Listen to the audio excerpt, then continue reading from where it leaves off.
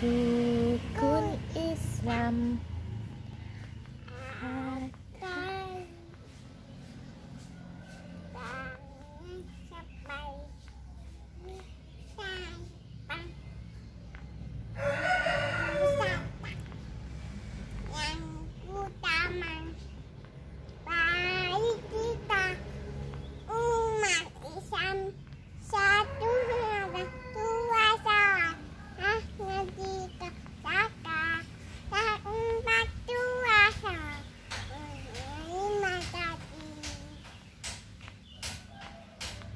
rukun Islam ada lima jangan sampai kita lupa.